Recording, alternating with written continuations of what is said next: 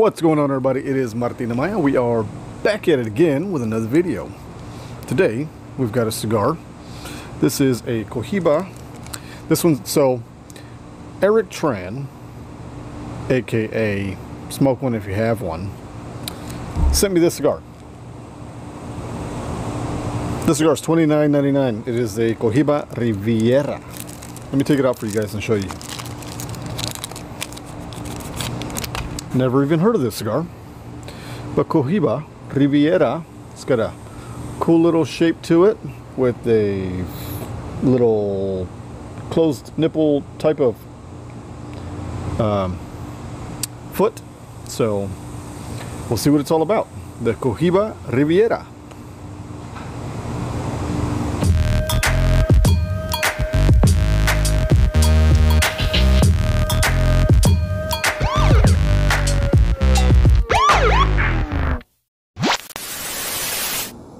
Oh man, my shirt's dirty. Much better. Amayanized Designs is the official sponsor for the Martin Amaya Once Famous channel. Swag is now available in shop. If you guys remember, we used to be back at it again. Well, now officially we are back at it again because, well, if you know the story, you know the story. So if you know, you know. Big shout out to Amayanized Designs. That is going to be the official sponsor for the uh, Martin Amaya Once Famous YouTube channel. It doesn't stop at the Martin Amaya YouTube channel uh, merch. Shop there for all of your latest swag. Back to the program. So I don't know much about the cigar, and um, I figured we'd just smoke it and get our first initial thoughts. So let's try it. So it does have that tapered foot, or whatever you call it, foot, and um, I don't know, we're just to try it out and see what it's all about. Hmm. Okay. Right off the bat, cold draw.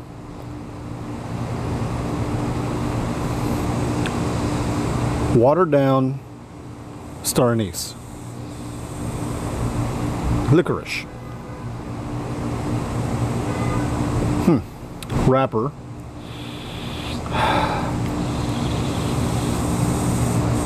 Musty. Musty sock.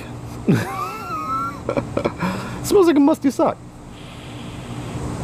Yep, has a bit of a musty, barnyardy type of smell to the body.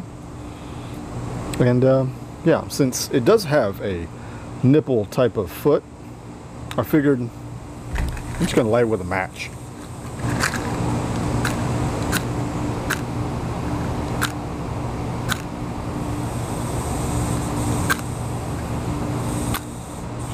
Minutes later. Ah, there we go.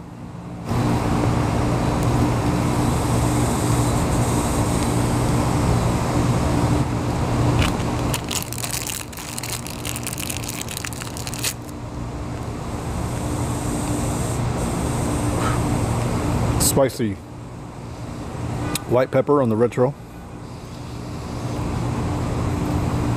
A little bit of an earthy baking spice. Hmm. Earthy baking spice.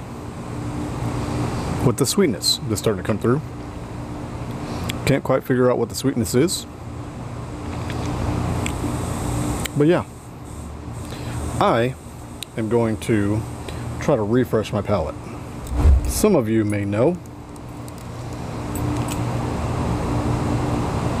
Some of you may not know.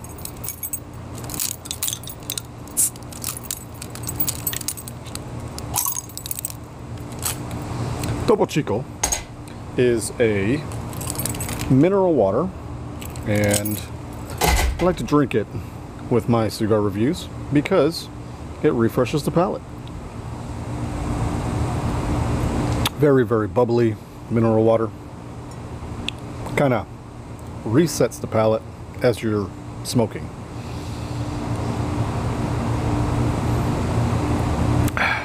All right, so let's try this again.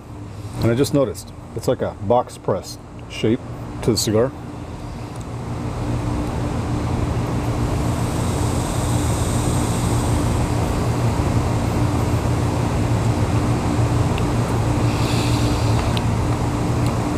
So I did get that licorice note on the cold draw, and I feel like it's still there, even on the light.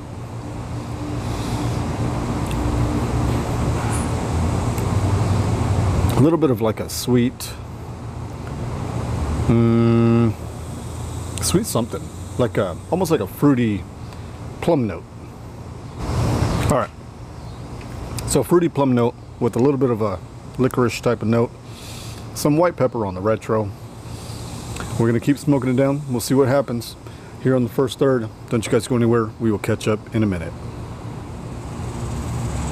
So, reading here on Half Wheel, it says that this is the first time that Cohiba has used a box press on their cigars. It also says this is the first time that they used a Mexican San Andres wrapper. So this cigar features a Mexican San Andres wrapper with Honduran binder and four different fillers. So it says the Jamastran Valley um, and La Entrada in Honduras. So two Honduran tobaccos in the filler and Nicaraguan tobaccos from Condega and Esteli.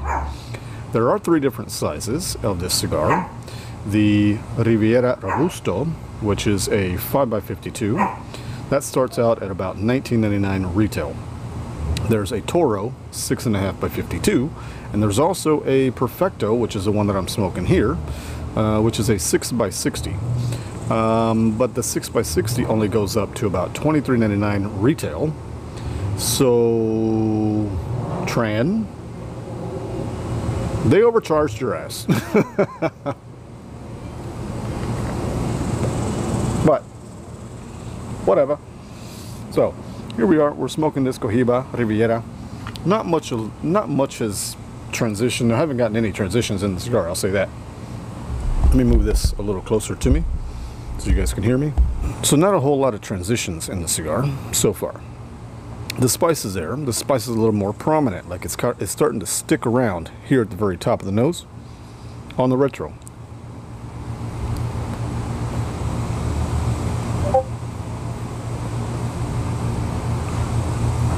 Kind of like mild out. Kind of mild out a little bit, so it kind of feels like I'm not getting that um, plum note. So the sweetness is gone, but there's a little bit more of like a grassy note that's starting to come through. Really oily smoke, so it's leaving the mouth feeling like it's oily and your mouth is watering. And then there's a little bit of a, as I was saying that the sweetness was going away, that sweetness is coming back. So it's like a really long finish. You take a draw of the cigar, you let it sit, the flavors develop in your mouth after about 30 to 45 seconds until your next draw.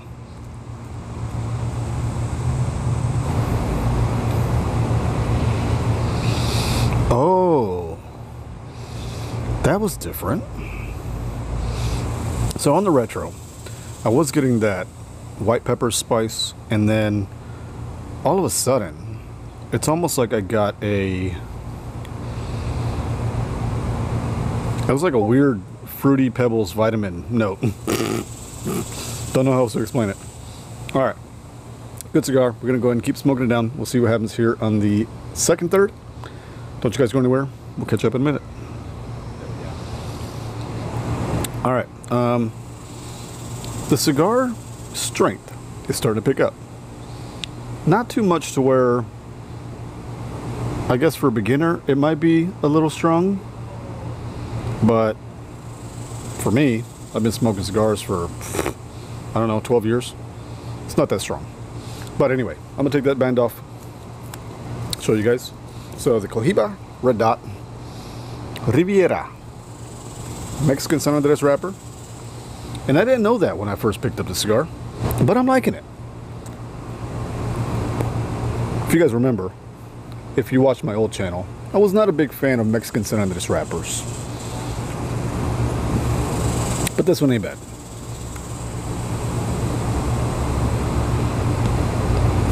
Alright. Mm, a little bit of like a sour, tart fruit note that I'm starting to get. Probably because I'm puffing on it a little bit too much. So, might need to chill the fuck out and let the cigar just kind of stay lit. A few moments later.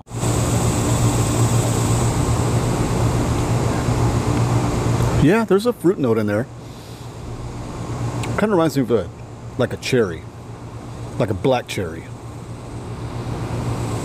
Hmm. Black cherry. All right. Um, retro. Still get a little bit of the white spice, but it's starting to calm down. Um, kind of making, kind of making the sides of my mouth hot, like it's burning hot. But yeah, I'm gonna keep smoking it down. I've got about another third to go, so we'll see what happens here on the final third. Don't you guys go anywhere. We'll catch up in a minute.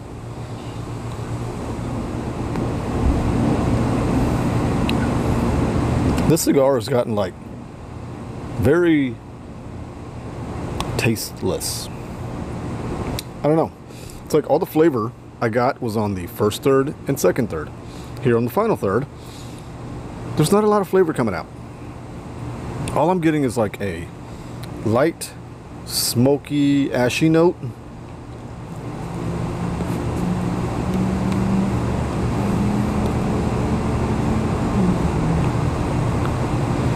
A little bit of spice in the retro. A lot of spice in the retro. like it just like kicked in after it like settled. Um, more of like a red chili powder note here on the final third through the retro. But the flavor on the draw just kind of tastes like an ashy, ashy note. I don't know. Overall, thirty dollars is what Tran paid. Twenty-three dollars is what it retails for. I don't think it's worth it, but it was a good cigar for the first and second third. Here on the final third, it's just meh. So I guess with that, we're gonna go and just end it here. Don't forget to smash that like button, subscribe, and ring that little bell so you know every time that I upload a new video. We'll catch you guys on the next one. Don't forget, Patreon, support me on Patreon. Check out the sponsor. We'll catch you guys later.